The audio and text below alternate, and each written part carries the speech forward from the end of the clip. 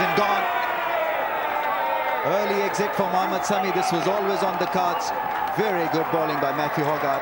He got it absolutely right very early in the day. Well, the ball before was maybe a sighter. This one was spot on. Watch that seam position. There you go again. Towards the slips, outside edge, regulation, straightforward. Geraint Jones makes no mistake.